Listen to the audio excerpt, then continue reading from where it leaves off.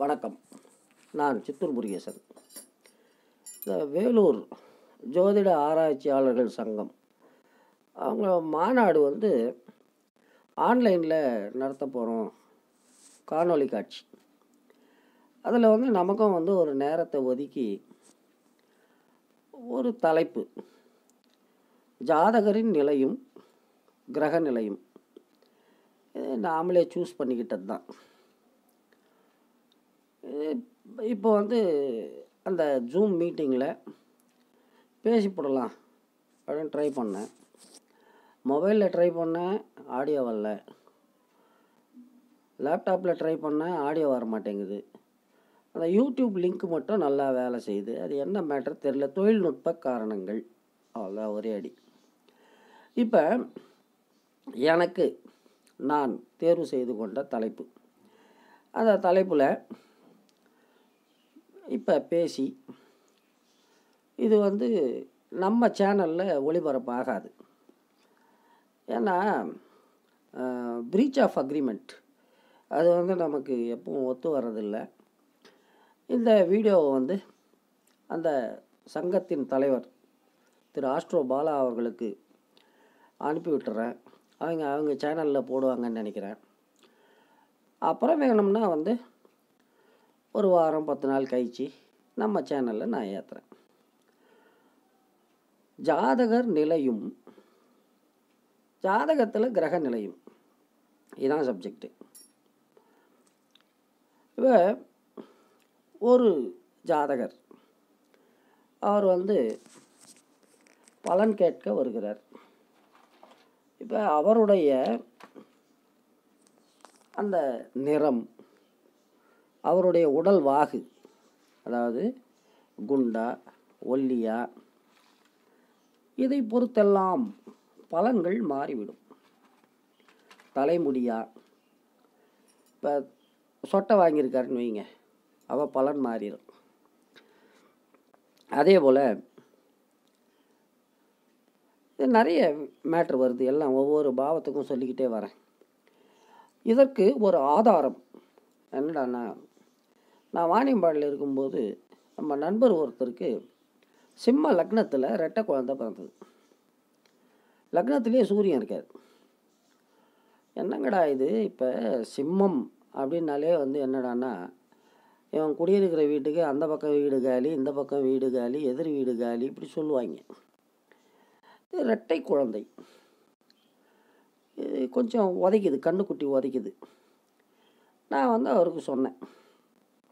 Sir இந்த ரெட்டை குழந்தையில எந்த குழந்தைக்கு முடி நல்லா புசு புசுன்னு இருக்கோ அந்த குழந்தைய கொஞ்சம் ஜாக்கிரதையாக பார்த்துக்குங்க அப்படின்னு. அது கடவுள் வேறு விதமாக நினச்சிவிட்டார் அந்த குழந்தை வந்து தவறி போயிடுச்சு. இப்படி நிறைய விஷயம் இருக்குது அதாவது லக்னத்தில் இருக்கக்கூடிய கிரகம் அந்த ஜாதகருடைய உடலில் வேலை செய்து விட்டால் மற்ற பலன்லாம் குறைஞ்சிரும். இப்போ உதாரணத்துக்கு எண்ணெயை எடுத்துக்கோங்க. பார்த்ததும் எல்லாம் என்ன நினைப்பாங்க? ஏதோ ஐயராத்து புள்ள போல அப்படின்னு நினைப்பாங்க. என்னடா காரணம்னா லக்னத்தில் குரு. அந்த லக்னத்தில் இருக்கக்கூடிய குரு வந்து இந்த பிராமண லட்சணங்களை கொடுத்து விட்டார். ஜோசியம் இது ஒன்று அடுத்தது வந்து இந்த மதம் சம்பந்தப்பட்ட இந்த நம்பிக்கைகள் ஆராய்ச்சிகள் இதெல்லாம் போகும்போது என்னடா ஆகுனா ஃபைனான்ஸு பல்பு வாங்கிருச்சு. ஃபைனான்ஸு பல்பு வாங்கிருச்சு. இதை போல் ஒரு ஜாதகரின் அந்த உடல்நிலை இந்த உயரம் குள்ளம் குண்டு ஒல்லி தலைமுடி அது சொட்டையா இல்லை வயசாயிருச்சு வெள்ளையாக விட்டுட்டாரா அதுக்கு ஒரு பலன். டை போட்டு ஊரை ஏமாத்துறாரா? என்ன மாதிரி? அதுக்கு ஒரு பலன். அதே போல் தனபாவம். இந்த தனபாவம் என்பது இப்போ ஒரு ஜாதகர் அவர் வந்து வள வள வள வளன்னு பேசிக்கிட்டே இருப்பாருன்னு வைங்க. அப்போ என்ன ஆகுன்னா ஃபைனான்ஸ் அடி வாங்கிடும். ஒன்று அதே போல் குடும்பம். இப்போ எங்கள் அப்பாலாம் வந்து ஜில்லா ஜில்லாவாக தூக்கி அடிப்பாங்க. அவர் வந்து கொஞ்சம் ஹானஸ்ட்டு டிஸ்ட்ரிக்ட் ஆஃபீஸர் அவர். டிரான்ஸ்ஃபர்னால் ஜில்லா டு ஜில்லா தான். அவர் மூணு மாதத்துக்கு ஒரு தடவை ரெண்டு மாதத்துக்கு ஒரு தடவை வீட்டுக்கு வருவார். வந்ததும் அவர் ஹாலில் உக்காந்துக்குவார் ஈஸ்ட் சேரை போட்டுக்கிட்டு எங்கள் அம்மா வந்து உக்காந்துக்கும். உக்காந்துட்டு அவர் எல்லாம் ஓட்டு ஓட்டுன்னு ஓட்டிக்கிட்டே இருப்பார். ரீல் அறந்தே போகாது. அந்த மாதிரி நபர்களும் இருப்பார்கள். இப்போ அதே போல் இப்போ நம்ம கண்ணதாசன். அவர் வந்து ரோலக்ஸ் வாட்சை தொலைச்சி போடுறாரு. அதாவது எவனா ஆட்டையை போட்டு போயிடறான். அவர் வீட்டுக்கு வராரு. இப்போ எங்கப்பா வாட்சை காணோம்? அது காணாமல் போயிடுச்சுப்பா முடிஞ்சு போச்சு கதை. வளவள கேஸுக்கு ஒரு பலன். இப்போ கண்ணதாசன் மாதிரி ஆட்களுக்கு வேறு பலன். அதே போல் எர்னிங் ஆர் நாட் அவன் சம்பாதிக்கிறானா இல்லையா? அதை பொறுத்து பலன் மாறிவிடுகிறது. இப்போ பொதுவாக நீங்கள் எல்லாரும் என்ன நினைப்பீங்க? ஒரு குடும்பத் தலைவன் நல்லா சம்பாதிக்கணும். அப்போ தான் அந்த குடும்பம் வந்து நல்லா இருக்கும் அப்படின்னு நினைப்பீங்க. ஆனால் ஒரு குடும்பத் தலைவன் நொடிச்சு போயிட்டான்னு வைங்க. அப்போ வந்து அந்த குடும்பம் இன்னும் கொஞ்சம் கட்டுக்கோப்பாக மாறிடும் அதே போல் குடும்பத் தலைவன் நிறைய சம்பாதிக்கிறான்னு வைங்க. அப்போ என்ன ஆகண்டான்னா வீட்டில் இருக்கிற பொஞ்சாதி குழந்தை குட்டி குழுவான் மச்சின்ச்சி எல்லாருக்கும் ஆளுக்கு ஒரு எண்ணம். அப்படியே சிறகடிச்சு பறந்துக்கிட்டு இருப்பாங்க கற்பனை வா வானத்தில். அந்த குடும்பம் உருவிடுமா? உருவிடாது. அதே போல். அடுத்தது வந்து சகோதர பாவம். இப்போ மூணாவது இடத்துல பாவகிரகம் இருக்குதுன்னு வைங்க. அப்போ வந்து என்ன சொல்கிறோம் நாம்? நீங்கள் தான் கடைசி சந்தானம் அப்படின்னு சொல்கிறோம் சப்போஸ் என்ன சப்போஸ் அவருக்கு கீழே குழந்தைகள் பிறக்குதுன்னு வைங்க. பொதுவாக மூன்றாம் இடத்துல பாவகிரகம் இருந்தால் இவர் தான் கடைசி ஆண் சந்தானம். அதுக்கப்புறம் பிறக்கிறது பெண்ணாக இருக்கும். இல்லை அதுவும் ஆணாகவே இருக்குன்னு வைங்க. அப்போ பலன் மாறி போகுது. அந்த பலன் மாறும்போது இவருக்கு வந்து சவுண்ட் பாக்ஸ் அவுட் ஆகலாம். இல்லை ஷோல்டரில் பிரச்சனை வரலாம். இப்படியெல்லாம் இருக்குது அதே போல் இந்த நான்காம் இடம். நான்காம் இடத்தை எடுத்துக்கிட்டிங்கன்னு வைங்களேன். தாய். தாய் உயிரோடு இருக்காங்களா? அது ஒரு பலன். தாய் நலமாக இருக்கிறாரா? அது ஒரு பலன். தாய்க்கும் இவருக்கும் நல்ல ஒட்டு உறவு இருக்கா? அது வேற பலன். அதாவது அந்த நான்காம் பாவத்தின் சுப பலன் குறைஞ்சிடும் அதே போல் வீடு. இப்போ சொந்த வீட்டில் இருக்கார். பலன் குறைஞ்சிடும் அந்த நான்காம் பாவத்தின் பலன் குறைஞ்சிரும். அதே போல் வாகனம். அவர் பந்தா ஃபோர் வீலர் வச்சுக்கிட்டு இருக்காருன்னு வைங்க. அப்போ அந்த நான்காம் பாவத்தின் பலன் குறைஞ்சிடும் இப்போ நான்கு என்பது வந்து நம்முடைய நட்பு உறவு கொலிக்ஸ் இதெல்லாம் காட்டும்.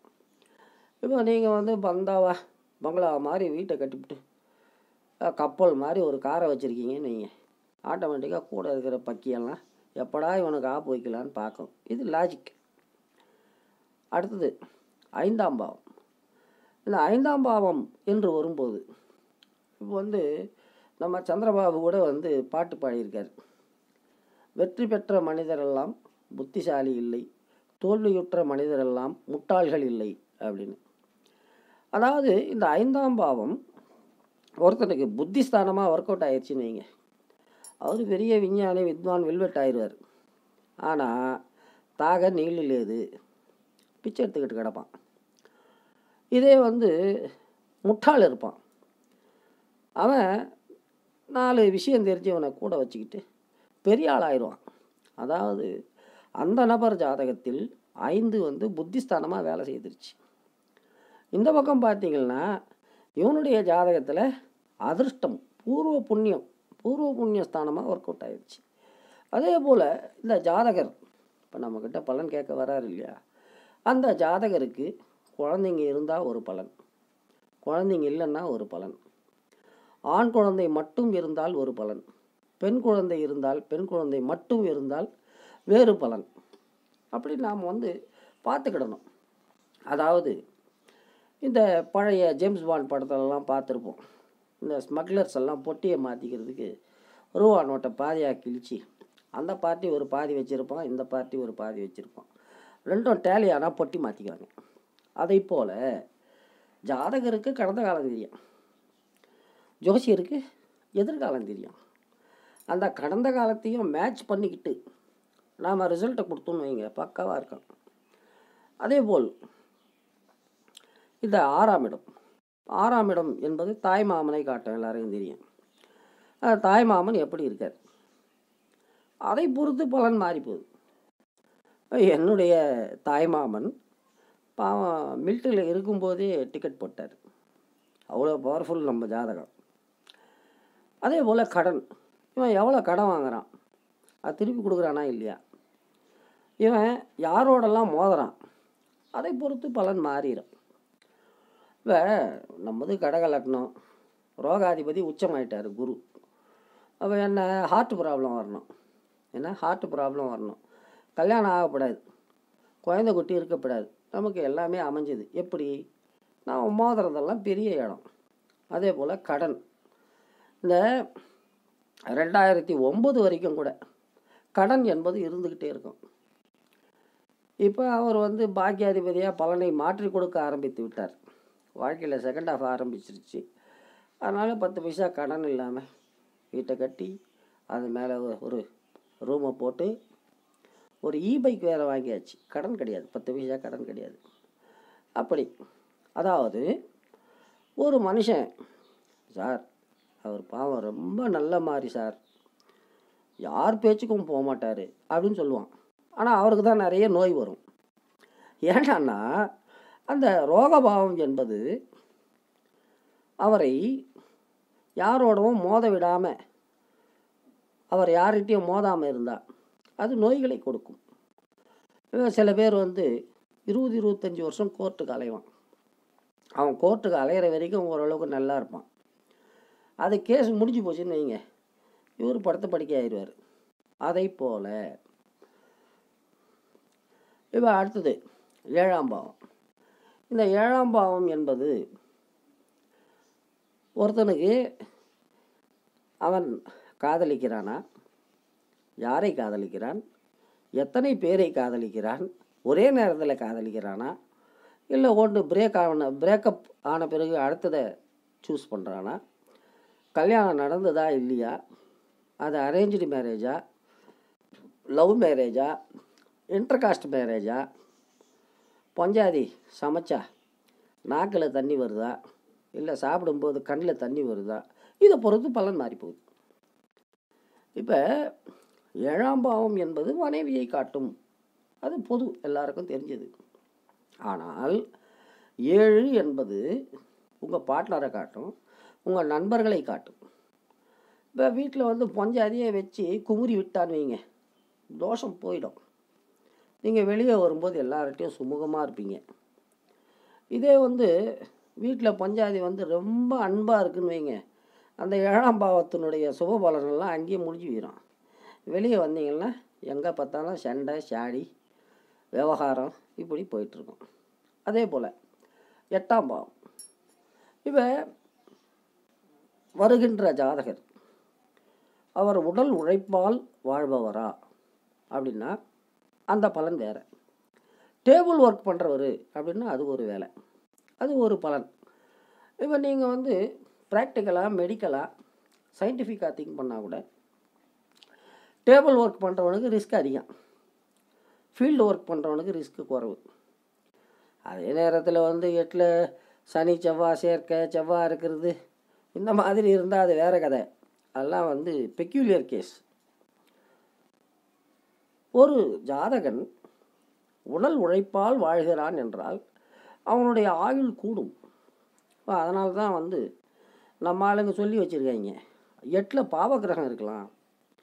ஏன்னா பாவகிரகம் இருந்தால் இவனுக்கு கிளியும் கிழிஞ்சா ஸ்ட்ராங் ஆவான்.